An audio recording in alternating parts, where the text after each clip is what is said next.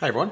This question says determine the age of a mammoth bone found in an archaeological dig if it's lost nine tenths of its original carbon mass. Okay, now you can't see all that here, but that's that's okay. Now we've lost nine tenths. Now most of these questions here, the way they work here, they don't they don't work in terms of what you lost. They work in what you have left. So remaining is one tenth, and that's the value that's important to us in this question. Okay, it's known that carbon-14 decays uh, radioactively with a half-life of 5,800 years, with remaining isotope ma- uh, with remaining isotope mass defined by. Okay, so here's our equation here, and we're supposed to figure out the age here. Now we know that we are left with a tenth of what we started with, so it doesn't really matter what we started with. We can pretend that this is just the number one, and we're going to be left with one tenth here.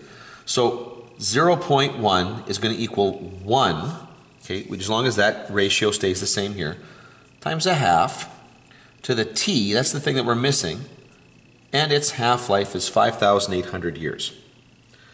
Okay, now, this is an exponential equation. I am looking for the exponent here. I'd like to solve for that.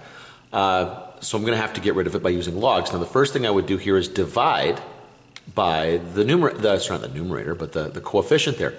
And it's just one, so it doesn't really do me any any good to do that. I'm just going to leave it. But I will take the log of both sides. So I'll get the log of 0.1 will equal the log of 1 half, okay, to the t over 5,800. And the whole point of taking the log was so I could bring down that exponent. So I get the log of 0.1 is equal to t over 5,800 is uh, times the log of a half. Now I'm looking to get t by itself. That's a terrible looking t now that I actually have a good look at it.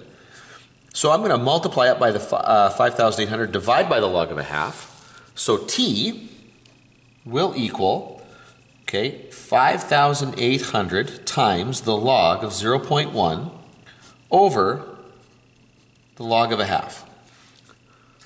Okay, and so now this will be 5,800 log of 0.1 divided by the log of a half. I'm just doing this on my calculator. I'll show you that. Okay, there's my expression right there. Press enter. And it's 19,267. Uh, what does, it say? Say what we want it to take it to? Doesn't really matter. I'll just say 19,267 uh, years. Approximately 19,267 years. There we go.